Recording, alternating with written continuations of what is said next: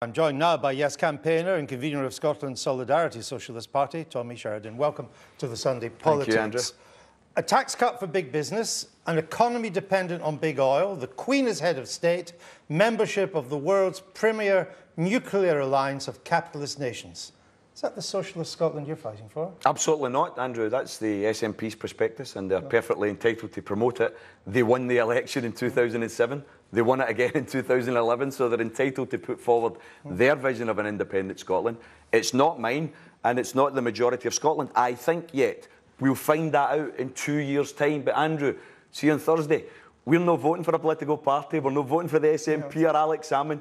We're voting for our freedom as a country. That's why people are going to vote yes of course, on but, Thursday. But a, a, lot of people, like yourself, are voting for that, what you call freedom, because you think it will be a more left-wing Scotland, or the chance of a more left-wing Scotland. Now, you've already got free prescriptions, no tuition fees, free care for the elderly, all that you have now.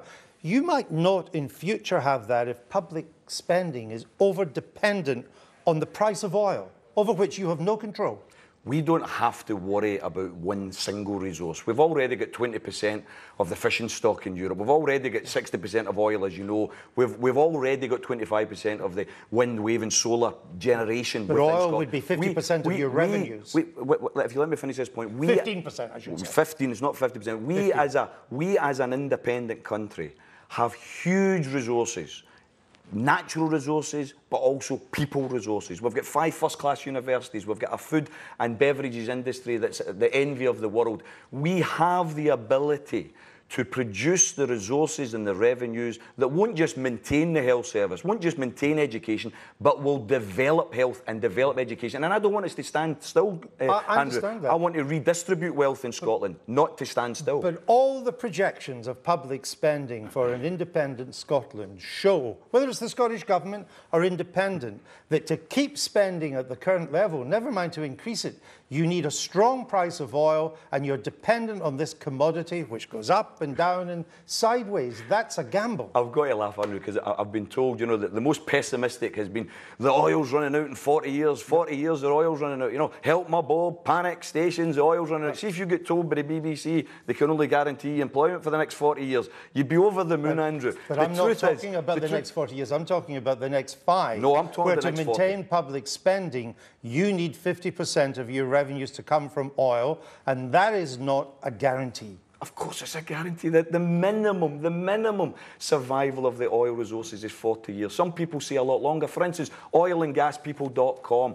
Please get your viewers to go on to their internet and look up oilandgaspeople.com. They've just produced a report last week that the BBC has disgracefully ignored. It suggests quite clearly, based on expert evidence, expert analysis, the west coast of Scotland, not the North Sea, the west coast has 100 years of oil there to be extracted. Why has it not been extracted? Because in 1981, Mr Michael Heseltine, Defence Minister, says we can't extract that oil because we've got Trident nuclear missiles going up and down there. Well, here's the solution. Let's get rid of Trident and let's extract the oil. Scotland is potentially one of the richest countries in the planet, and we're going to redistribute that wealth for ordinary working people, Andrew. You're a Trotskyite. Why have you failed to learn Trotsky's famous dictum, socialism in one country is impossible? Well, you know something? Revolutions and change aren't just single events, Andrew. They don't just happen. What's going to happen here on Thursday is a democratic revolution. The people are fed up, being patronised, being lied to by this uh, mob in Westminster uh, who have absolutely used and abused us for far course. too long. I understand. The small about, people now have a voice what about and they're socialism going to use it. in one country? Oh, socialism will hopefully Mr. Mr. develop. Trotsky warned you against that. Socialism will hopefully develop. You know something? Leon's not alive right now. The no He's campaign. heart. The no campaign represents the past. The Yes campaign represents the future, Andrew. That's the truth of the matter. What we're going to do in an independent Scotland is we're going to tackle poverty and inequality and the scourge of low pay. I'm not accepting the certainty, and it is a certainty. If we vote no on Thursday, there will be more low pay on Friday, more poverty on Friday, more food banks on Friday. I'm not going to be I'm not going to be listening, lectured by these big banks. Oh, you vote yes, we're going to leave the country. The big banks that got us into the mess. The only banks that will be closing in an independent Scotland are the food banks. That's the ones that will be closing, Andrew. If you ever got your way, not just for independence, but for the type of Scotland that you would like to see, much more tax on the affluent, state control of business, nationalisation of the banks. The roads to Carlisle and Berwick will be clogged with people fleeing the country. Yes, wanting to come into Scotland because the Really? working class of England are Oh, they would come hoping, up here. hoping in their hearts that the people of Scotland have got the bottle to take on Westminster. You don't got the bottle to break the British establishment. seriously Andrew, the working that. class of the Liverpools, the Newcastles, the working class of London are saying, good on the jocks. They're actually taking on big business. They're actually taking on the bosses. And when we win our independence and we start investing in health, investing in education, building social housing, the people of England are going to be saying, hey, we can do that as well. And they will rediscover their radical traditions. But in wanting to build socialism in one country, it really means you're fighting for the few rather than the many. Uh, uh, you're bailing out of the socialist battle for Britain because you think it's going to be easier to try and make it work here. Andrew, Andrew, think globally, act locally. We're going to build socialism in Scotland, but I want socialism across the world. I want my brothers and sisters in England and Wales to be encouraged by what we do so that they can reject the Westminster consensus as well. We had the three stooges coming up there for, for, for, for, for London. Three millionaires all united in one thing austerity. Doesn't matter whether Miliband wins the next election. He's already said he will stick to the Tory spending cuts. Why vote for Miliband? You wouldn't trust him to run a bath, never mind run a country, for goodness sake. Let's just see whether any of this is realistic, though, uh, Uh, in this great socialist vision for Scotland that you have. At the last Scottish election, your old Socialist Party got 8,000 votes.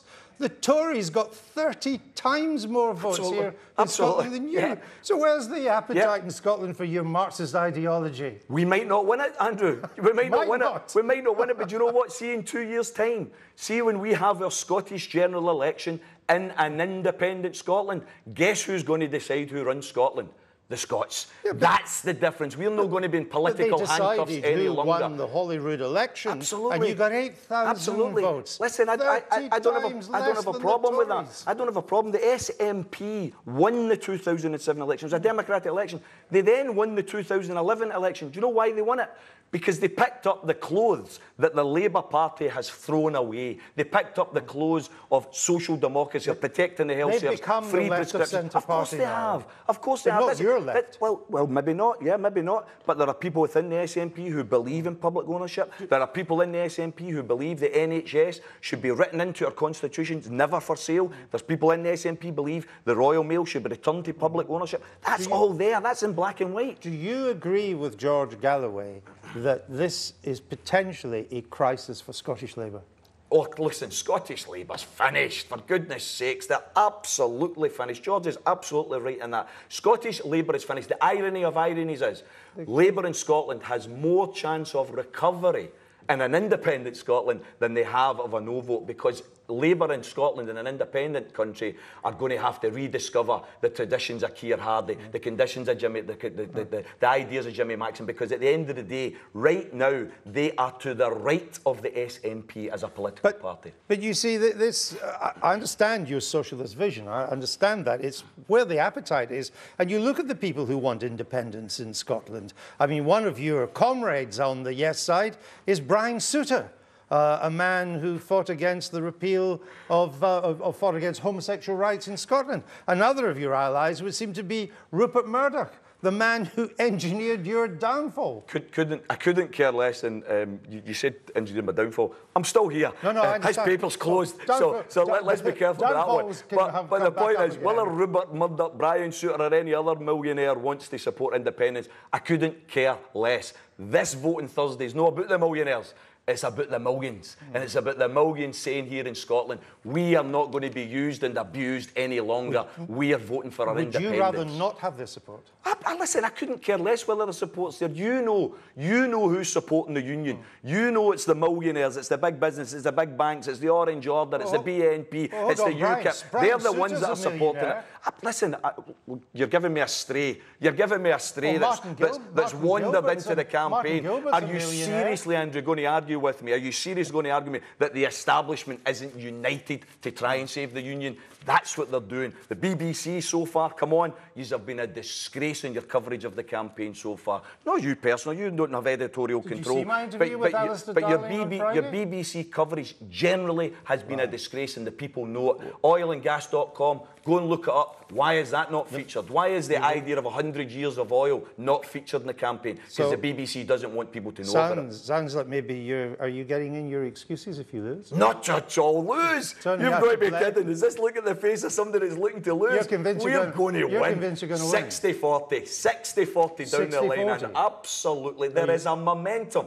that you guys aren't seeing in the working class housing estates and villages of Scotland. Working class people are fed up being taken for granted, fed up being lied to by these people dragging us into illegal wars, tax cuts for the millionaires, bedroom tax for the poor. They are going to use their power. They very, very rarely get any power. They've got power on Thursday, Are you happy and they're going to use it, and they're going to vote for freedom. Are you happy the way the BBC's treated you today?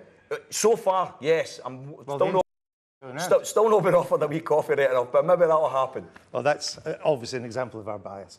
Tommy Sheridan, thank you for now, but again, we're going to speak to you uh, you. later along with George Galloway.